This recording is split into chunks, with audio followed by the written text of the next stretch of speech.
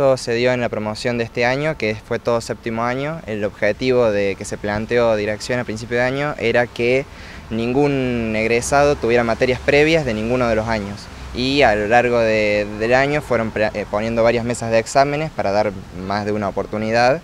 y presionando siempre mucho a los chicos para que consiguieran el objetivo. Fue un proyecto que, demandó mucho trabajo por parte de, los profesores en general y mucha dedicación por parte de los chicos porque era, era un objetivo muy grande, pero al final lo terminaron consiguiendo. Se dieron muchas horas de tutoría, se distribuyeron para, todos los chicos que quisieran asistir y bueno, se fue, fueron también hablando con uno, con uno por uno con todos los chicos para que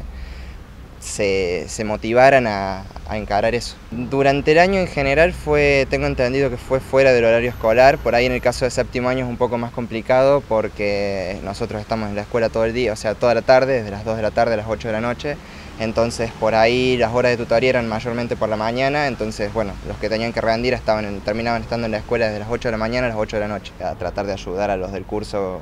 o al que necesite un poco de apoyo para,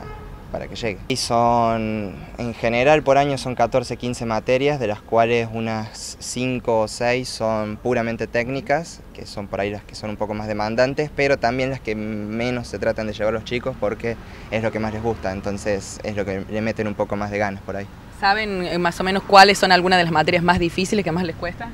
Y por ejemplo a mí matemática, física, todo eso, pero es como todo chico, si a, si a alguien, si a él le gusta matemática, lo va a ir bien y siempre por eso siempre estuvieron los profesores arriba de nosotros y trataron de ayudarnos. Pero hay una formación importante, digo, para después a, la hora de elegir una carrera universitaria o encarar una carrera. Fueron, fueron algunas eh, universidades a, a charlas y nos dieron folletos y nos enseñaron todo lo que tenían para dar.